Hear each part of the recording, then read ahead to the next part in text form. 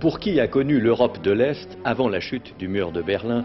La métamorphose spectaculaire qui s'y est opérée depuis laisse pantois. Comme si le communisme d'État, qui a pourtant prévalu pendant 40 années, n'avait été qu'une parenthèse d'immobilisme et d'oppression. On ne voit presque plus de ces fameuses trabantes, ces voitures à moteur deux temps polluantes et hors de prix, qui étaient le symbole de la pénurie ambiante. L'Europe de l'Est s'est rapprochée de celle de l'Ouest.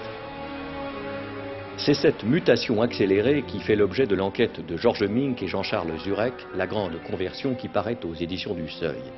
Car, comme le rappellent les auteurs dans leur avant-propos, chacun, dans les années 80, était convaincu que le régime communiste durerait un siècle au moins, aussi longtemps que la coupure de l'Allemagne en deux nations distinctes.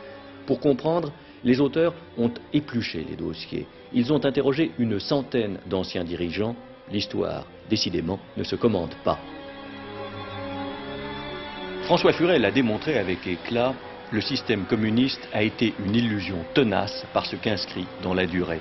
À terme, le totalitarisme devait disparaître et c'est tout le mérite de certains dirigeants, incompris comme le polonais Jaruzelski ou au contraire encensés par l'Occident comme le russe Gorbatchev, que d'avoir anticipé.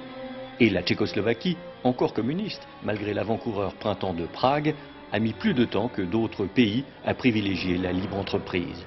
Elle triomphe désormais ici comme partout ailleurs.